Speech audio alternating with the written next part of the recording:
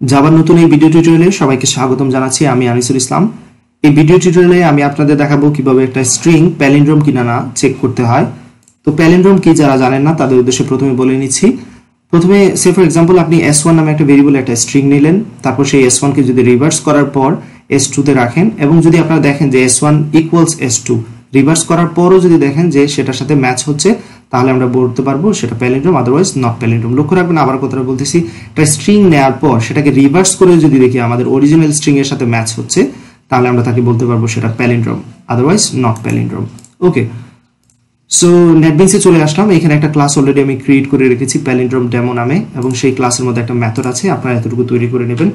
So আমি প্রথমে যে কাজটা করব, আমি এস ওয়ান নামে একটা ভেরিয়েবল নিয়ে নিচ্ছি, এবং এর মধ্যে আমি ম্যাডাম এই ওয়ার্ডটা রেখে দিচ্ছি। এবার যেটা করব স্ট্রিং এস টু নামে একটা ভেরিয়েবল নিয়ে নিচ্ছি এস টু ওকে আমরা কি করব এস ওয়ানকে যদি রিভার্স করি, এখানে একটা বিষয় লক্ষ্য রাখুন এস ওয়ানকে কিন্তু রিভার্স করতে পারব না, কারণ আমরা এস ওয়ান রিভার্সের স্ট্রিং এর কোনো রিভার্স মেথড দেখিনি। আমরা দেখেছিলাম স্ট্রিং বাফারের ক্ষেত্রে। তাহলে যেটা করব আমি, এই স্ট্রিংটাকে একটা স্ট্রিং বাফারের মধ্যে রেখে দেবো। String buffer S B equal new string buffer string buffer এবং আমি এইখানের মধ্যে আমার স্ট্রিংটা পাস করে দেবো, যে যাকে রিভার্স করতে চাচ্ছি, অর্থাৎ এস ওয়ানকে সো এখানে এস ওয়ান দিয়ে দিচ্ছি। তাহলে কি হচ্ছে? এস বি এর মধ্যে এবার এস ওয়ান স্ট্রিংটা চলে এসেছে। এবার আমরা এস বিটাকে কি করতে পারব? রিভার্স করতে পারব। কারণ স্ট্রিং বাফারের মধ্যে কি আছে? রিভার্স মেথডটা আছে। তাহলে স্ট্রিং এই যে আমাদের স্ট্রিং ওয়ানটা কি করেছি আমরা? স্ট্রিং বাফারের ক্লাসের একটা ভেরিয়েবলের মধ্যে কি করেছি? এটা ইনসার্ট করে দিয়েছি। সুতরাং সব কিছু চলে এসে এস বির মধ্যে। এবার এস বিটাকে আমরা কি করে দিয়েছি? রিভার্স করে দিয়েছি। সুতরাং আমরা এবার কম্পেয়ার করতে পারব যে এস বি এর সাথে আমাদের এটা আরেকটা ভেরিয়েবলের মধ্যে রেখে দিতে পারি। এতে করে আমাদের ইয়েটাতে সুবিধা হবে কম্পেয়ার করতে সুবিধা হবে। সে ফর এক্সাম্পল এটাকে আমি আরেকটা ভেরিয়েবলে রাখতেছি স্ট্রিং এস টু নামে।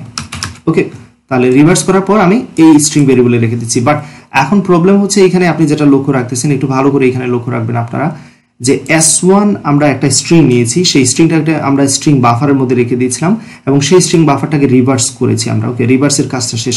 বাট আমরা এখানে আরেকটা স্ট্রিং এর মধ্যে তাকে রাখতে পারতেছি না। কারণ এটা হচ্ছে স্ট্রিং বাফার আর এটা হচ্ছে স্ট্রিং টাইপের একটা ভ্যালু তো আমরা এটাকে এইভাবে করতে পারি টু স্ট্রিং মেথড এখানে ইউজ করতে পারি। তাহলে স্ট্রিং বাফারটাকে এবার আমরা কোথায় নিয়ে গেলাম? স্ট্রিং এ নিয়ে গেলাম এবং সেটা একটা স্ট্রিং ভেরিয়েবলের মধ্যে আমরা রেখে দিতে পারব। এবার যদি আমরা কম্পেয়ার করি if S one dot equals method যেহেতু আমাদের রিভার্স করা হয়ে গেছে, এবার অরিজিনালের সাথে আমি আমি চেক করতেছি, যদি আমাদের যেটা রিভার্স করা সেটা যদি ম্যাচ হয় ইফ এস ওয়ান যদি এস ওয়ান যদি এস টু এর আমরা কি করেছি? এস ওয়ান একটা স্ট্রিং নিয়েছি, তাকে রিভার্স করেছি। রিভার্স করে আরেকটা স্ট্রিং এর মধ্যে রেখেছি। এবার এস ওয়ান আর এবং এস টু যদি ইকুয়ালস হয়, তাহলে কি হবে? তারা প্যালিন্ড্রোম এলস নট প্যালিন্ড্রোম এই এই প্রোগ্রামটা অনেকভাবে আপনারা করতে পারেন। ডেফিনেটলি অনেকভাবে করতে পারেন। নিশ্চয়ই আপনারা আমার চেয়ে অনেক ভালো মেথড অলরেডি জানেন। যারা জানেন, অবশ্যই তাদের জন্য এটা ভালো।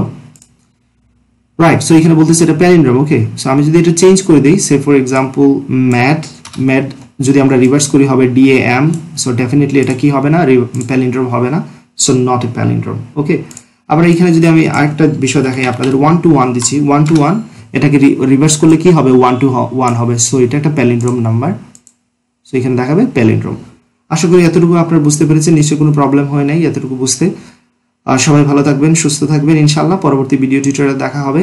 এখানে আরেকটা কাজ আপনারা করতে পারতেন। যদি এখানে যদি চাইতেন যে ওকে আমরা আরেকটা ভেরিয়েবল ইউজ করব না সো এখানে অবশ্যই সেই কাজটা করতে পারতেন। একটা ভেরিয়েবল ইউজ না করে আমি যেহেতু করেছি আমার সুবিধার জন্য, আপনারা যেটা করতে পারতেন এস ওয়ানের সাথে এস বিটা এখানে কম্পেয়ার করতে পারতেন। সেটাও হবে ডেফিনেটলি হবে।